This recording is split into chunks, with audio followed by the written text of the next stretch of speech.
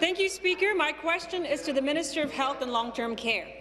The Auditor General's report showed that 36% of Ontario Works recipients are experiencing mental health issues, addiction and homelessness that act as barriers to employment. Our mental health care system, addiction services and housing are failing to provide people with the support they need to get their lives back on track. With this government cutting $330 million from mental health and addiction services, can the minister explain Order. how that will help OW recipients rebuild their lives? Deputy Premier. Well, I, I, thank the member for the question. This is a serious concern, but I, I disagree with the premise.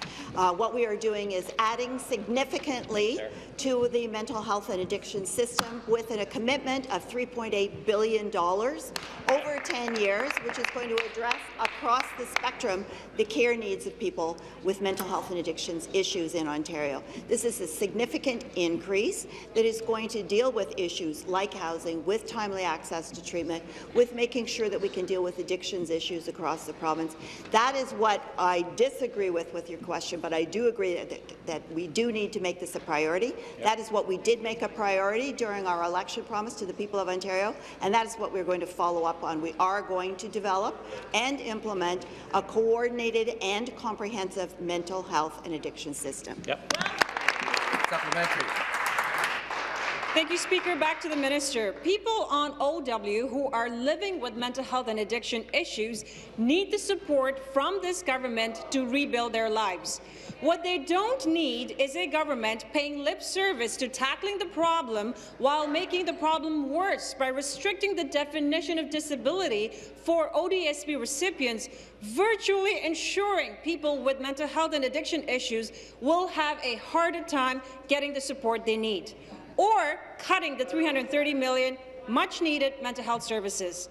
How can the minister justify taking actions that will make life harder for people with mental health and addiction issues while claiming to help them?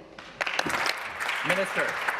Well, Mr. Speaker, through you, I must say that I disagree with the entire premise of that question because what we are doing no is trying to help people with mental health and addiction problems. We want to make sure that they can get out of poverty. We want to make sure they have housing. We want to make sure they can find employment. There, these are significant challenges that people are facing, and we are going to deal with them by engaging in a series of consultations. I would be happy to speak with you about it to get your ideas. We need ideas from all of the people of Ontario, but we are going to make sure that we speak with uh, uh, people in this legislature. We're going to speak with healthcare stakeholders. We are going to speak to the people of Ontario and directly speak to people with lived experience because they are going to tell us what they need, and we are going to make sure they get the services they need to deal with their mental health issues, to deal Response. with addiction issues. That is going to be my priority for the next number of months until we make sure we get it right and we can implement it as quickly as possible. Great plan. Thank you.